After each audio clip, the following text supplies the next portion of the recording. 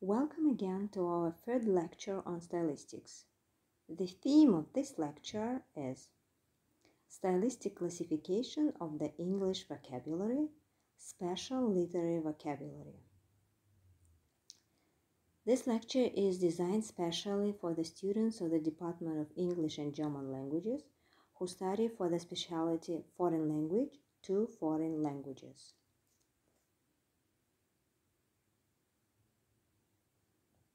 Within this lecture, we will discuss the following points. The first is about the general considerations on stylistic classification of the English vocabulary. And the second large point will be about the special literary vocabulary.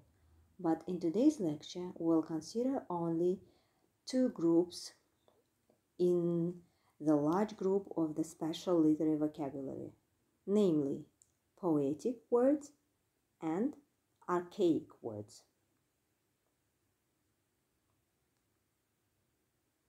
Let's pass to our first point. Stylistic classification of the English vocabulary.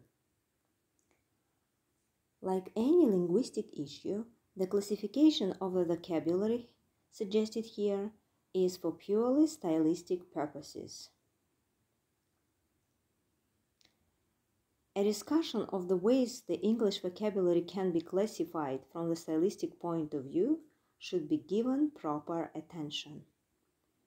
In order to get a more or less clear idea of the word stock of any language, it must be presented as a system, the elements of which are interconnected, interrelated, and interdependent.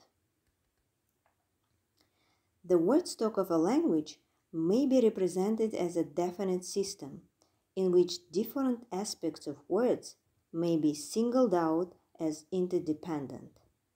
A special branch of linguistic science, lexicology, has done much to classify vocabulary. For our purpose, that is, for linguistic stylistics, a special type of classification the so-called stylistic classification is most important. In accordance with the division of language into literary and colloquial, we may represent the whole of the word stock of the English language as being divided into three main layers the literary layer, the neutral layer, and the colloquial layer. The literary and the colloquial layers contain a number of subgroups, each of which has a property it shares with all the subgroups within the layer. This common property, which unites the different groups of words within the layer, may be called its aspect. The aspect of the literary layer is its markedly bookish character. It is this that makes the layer more or less stable. The aspect of the colloquial layer of words is its lively spoken character. It is this that makes it unstable, fleeting.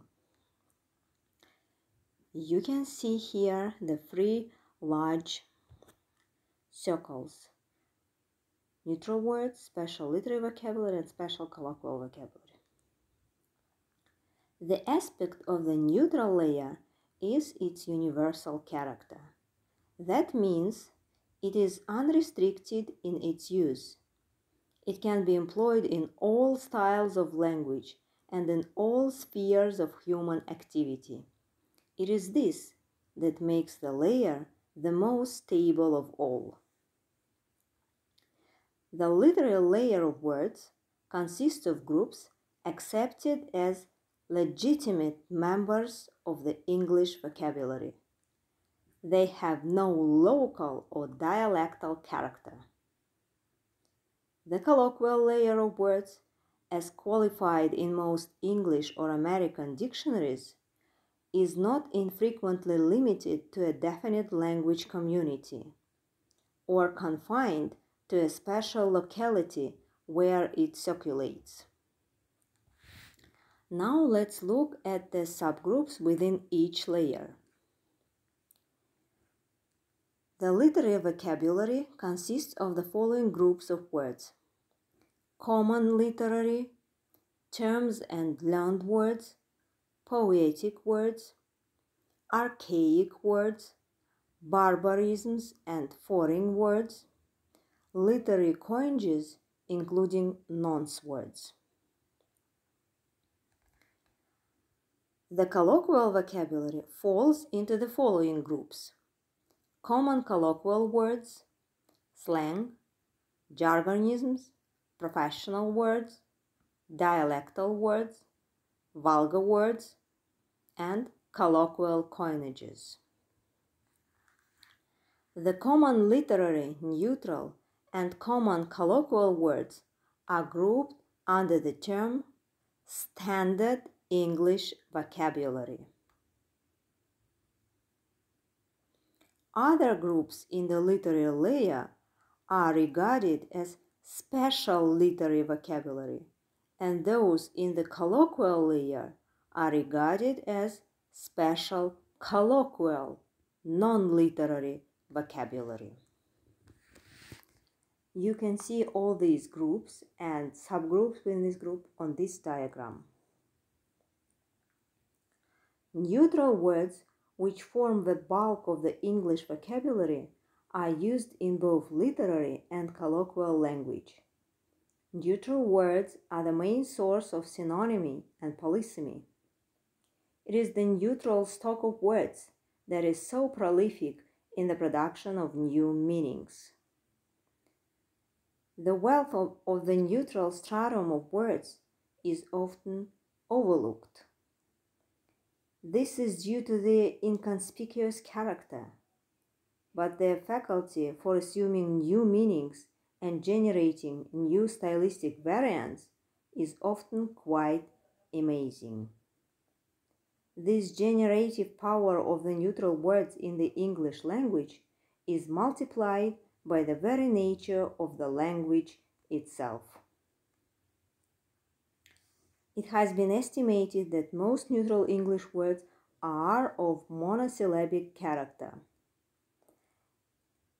As in the process of development from Old English to Modern English, most of the parts of speech lost their distinguishing suffixes. This phenomenon has led to the development of conversion as the most productive means of word building.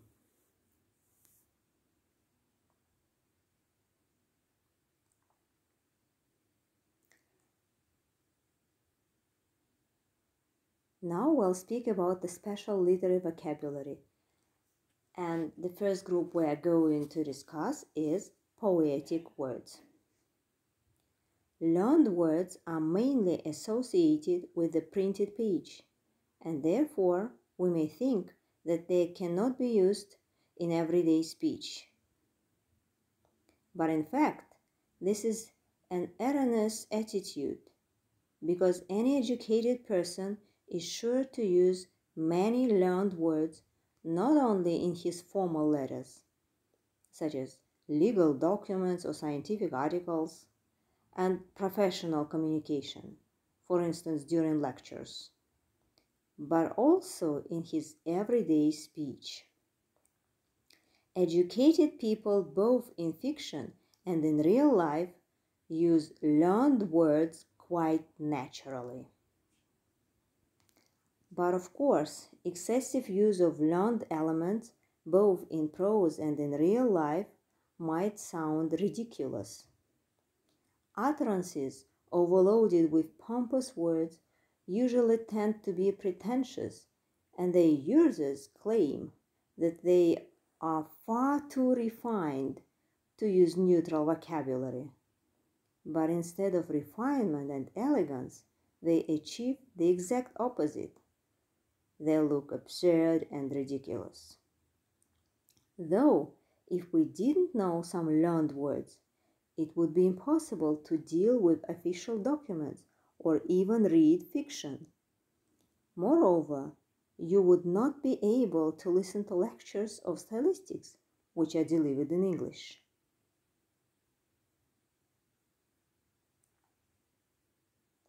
The words which are usually called literary words are described as refined. And the most interesting subdivision of learned words is represented by the words found in fiction. They usually stand close to the previous group, that is, learned words, but at the same time, poetic words have their own peculiarities. They are lofty, high flown, coloring. Have a look at this example taken from the work The Picture of Dorian Gray by Oscar Wilde. Summer followed summer, and yellow jonquils bloomed and died many times, and nights of horror repeated the story of their shame, but he was unchanged. No winter marred his face or stained his flower like bloom. The poetic words used here are really lofty, high flown, coloring.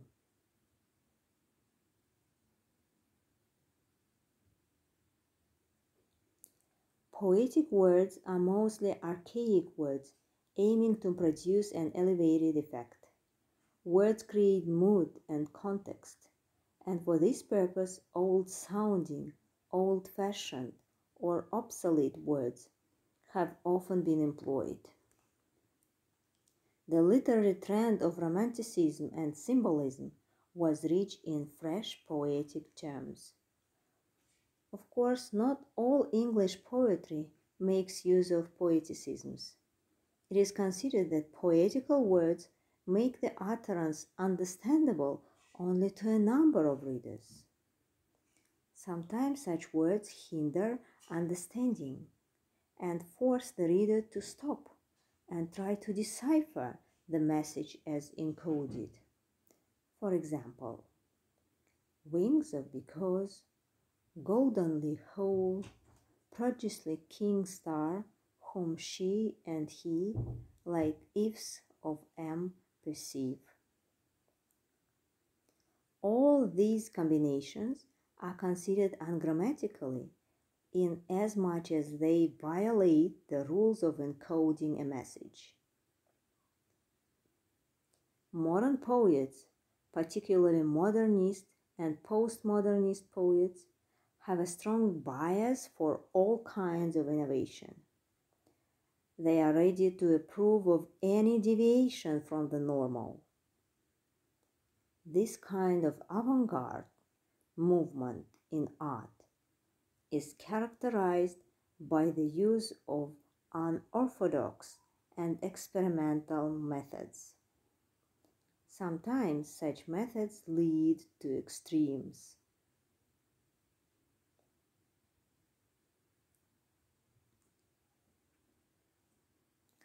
And the second group within the special literary vocabulary layer is archaic group, archaic words.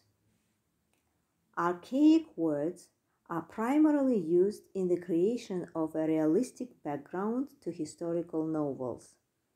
Here they maintain the function of creating the atmosphere of the past. The reader, as it were, lives in the epoch presented by the author and therefore perceives the use of archaic words as a natural mode of communication. For instance, Walter Scott is a master in the creation of a historical atmosphere. He does it so skillfully that the reader is scarcely aware that the heroes of the novel speak his language and not their own epoch. For this purpose, he uses language which is not out of date, but at the same time avoids using words and phrases of modern coinage. He sparingly introduces into the texture of his language a few words and expressions more or less obsolescent in character. Mostly he introduces variety of historical terms. Archaic words and phrases are very seldom, if ever, found in the style of official documents, business letters, legal language, diplomatic documents, etc. Though there are some obsolescent words which may be preserved within the style of official documents. For instance, aforesaid, hereby, therewith. The function of these words is terminological in character. It is also possible that archaic words were used for satirical purposes. It is when the situation in which the archaism is used is not appropriate to the context. It also happens that an archaic word may undergo a sudden revival and be re-established in the vocabulary. For instance, the formerly archaic word kin, which means relatives, one's family, is now current in American usage. The same is true of the word albeit, the meaning of which is although. There remains also the problem of differentiating the three terms archaic, obsolescent, and obsolete.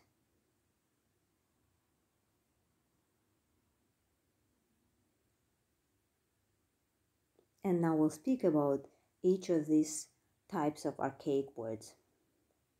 Obsolescent words are called such words which are in the stage of gradually passing out of general use.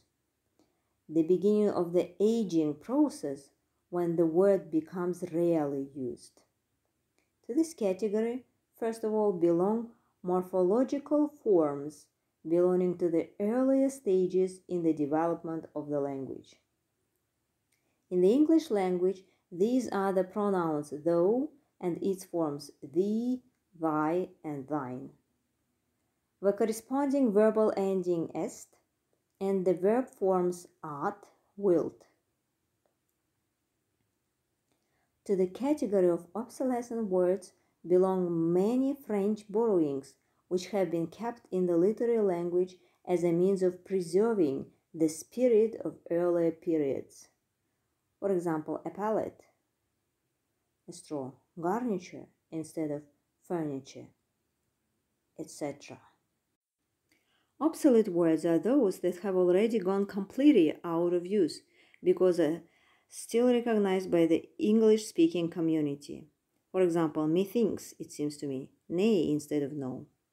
The third group is called archaic proper. These words are no longer recognizable in modern English. Words that were in use in Old English and which have either dropped out of the language entirely or have changed in their appearance so that they have become unrecognizable. The borderline between archaic and obsolete words is vague and uncertain, and in many cases it is difficult to decide to which of the groups this or that word belongs. So this is all in brief concerning our uh, lecture and these are the comprehension questions which will help you to check your understanding of the content of the lecture. This is the list of the sources which, which can be used for further reading. Thank you for your attention.